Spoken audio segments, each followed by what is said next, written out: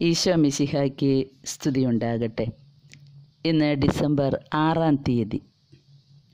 ക്രിസ്തുമസിനായിട്ട് നമ്മുടെ ഹൃദയങ്ങളെ ഒരുക്കുമ്പോൾ നമ്മുടെ ഹൃദയത്തിൽ നിന്നും നമ്മുടെ സ്വഭാവത്തിൽ നിന്നും പറിച്ചു മാറ്റേണ്ടതായ കുറവുകളെ പറ്റിയാണ് നാം ഇപ്പോൾ ചിന്തിക്കുക.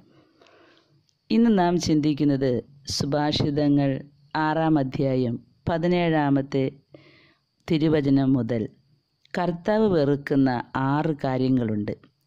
ഈ വെറുക്കുന്ന ആറ് കാര്യങ്ങൾ നമ്മുടെ ജീവിതത്തിലുണ്ടോ എന്നാണ് നാം പരിശോധിക്കുന്നത്. ഇന്നലെ നാം കണ്ടു അഹങ്കാരം നിറഞ്ഞ കണ്ണ് കർത്താവിന് വെറുപ്പാണ്. ഇന്ന് നാം നോക്കുന്നത് രണ്ടാമത്തെ കാര്യമാണ് വ്യാജം പറയുന്ന നാവ് നുണ പറയുന്ന നാവ്. പ്രിയ സഹോദരങ്ങളെ ഈ ലോകത്ത് ജീവിച്ചിരിക്കുന്ന എല്ലാവരും എപ്പോഴെങ്കിലും നുണ പറഞ്ഞിട്ടുണ്ടാകും.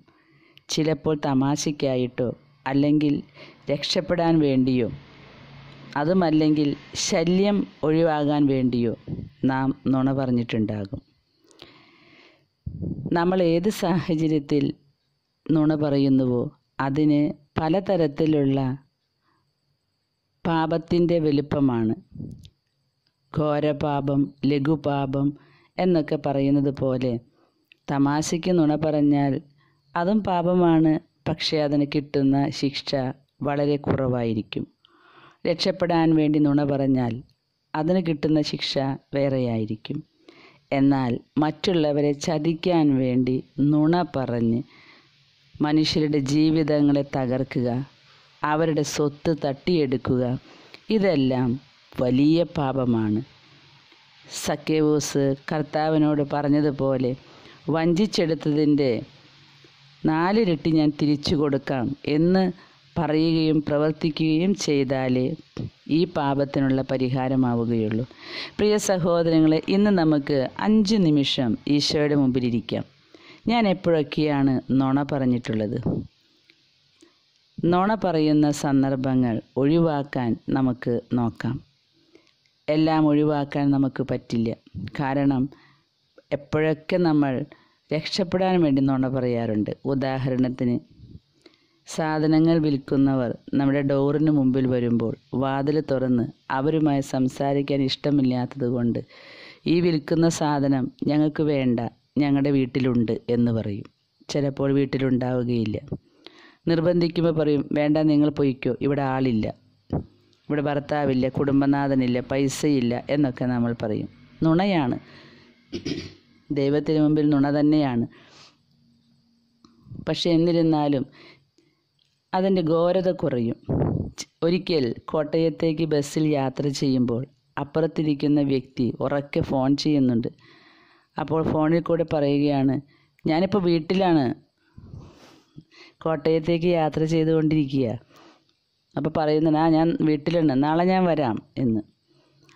അപ്പോൾ അങ്ങനെയുമുണ്ട് നുണകൾ. പ്രിയ സഹോദരങ്ങളെ മറ്റുള്ളവരുടെ സ്നേഹം പിടിച്ചു പറ്റാനോ മറ്റുള്ളവരുടെ സ്വത്ത് തട്ടിയെടുക്കാനോ അതല്ലെങ്കിൽ സ്വന്തം നിലനിൽപ്പിനു വേണ്ടിയോ ജീവിച്ചിരിക്കുന്ന അപ്പനും അമ്മയും ഇല്ല എന്ന് പറയുന്ന നുണ പറയുന്ന നാവുകളുണ്ട്. മറ്റുള്ളവർ ചെയ്യാത്ത തെറ്റുകൾ പറഞ്ഞു പരുത്തുന്ന നുണ പറയുന്ന നാവുകളുണ്ട്. വെറുതെ ഇങ്ങനെ നുണ പറഞ്ഞുകൊണ്ടിരിക്കുക. സംഭവിക്കാത്ത കാര്യങ്ങൾ സംഭവിച്ചു എന്ന് പറയുക. അതുപോലെ മനുഷ്യരുടെ ജീവിതങ്ങൾ തകർക്കുക. എന്തെങ്കിലും ലക്ഷ്യങ്ങളുണ്ടായിരിക്കും എന്തെങ്കിലും നേട്ടങ്ങളുണ്ടായിരിക്കും. അതുമല്ലെങ്കിൽ മറ്റുള്ളവരെ തരം താഴ്ത്തി ഞാൻ വലിയവനാണ് ഞാൻ വലിയവളാണ് എന്ന് കാണിക്കാൻ വേണ്ടി വെറുതെ നുണകൾ പറയുന്നവരുണ്ട്. വലിയ പരിഹാരം. വലിയ രീതിയിൽ കണക്ക് കൊടുക്കേണ്ടി വരും കർത്താവിന്റെ മുമ്പിൽ. നമ്മുടെ അതരങ്ങളിൽ നിന്നും പോയ വാക്കുകൾ മൂലം ജീവിതങ്ങൾ തകർന്നിട്ടുണ്ടെങ്കിൽ ചതി വഞ്ചന നാം നടത്തിയിട്ടുണ്ടെങ്കിൽ കർത്താവിന്റെ മുമ്പിൽ വലിയ കണക്ക് കൊടുക്കേണ്ടി വരും.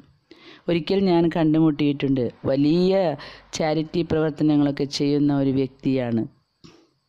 അദ്ദേഹം ഒരിക്കൽ ഒരു പ്രശ്നം വന്ന് സംസാരിക്കാൻ വന്നപ്പോൾ അദ്ദേഹത്തിന്റെ ജീവിതത്തിന്റെ പിൻഭാഗത്ത് വലിയ ചതിയും വഞ്ചനയും നടന്നിരിക്കുകയാണ് പക്ഷേ അദ്ദേഹം പുണ്യപ്രവർത്തികൾ ചെയ്യുന്നുണ്ട്. ലോകരുടെ മുമ്പിൽ വളരെ നല്ല വ്യക്തി. പക്ഷേ കർത്താവിന്റെ മുമ്പിൽ കണക്ക് കൊടുക്കേണ്ട വ്യക്തി. പിന്നീടത് അദ്ദേഹം തിരുത്തുകയുണ്ടായി. പ്രിയ സഹോദരങ്ങളെ വ്യാജം പറയുന്ന നാവ് കർത്താവിന് വെറുപ്പാണ്. ഇന്ന് നമുക്ക് ചിന്തിക്കാം. നമ്മൾ എന്തൊക്കെ നുണകൾ പറഞ്ഞു കൂട്ടിയിട്ടുണ്ട്? നുണകൾ പറഞ്ഞിട്ടാണോ നാം ഇന്ന് ഈ നിലയിൽ എത്തിയിട്ടുള്ളത്?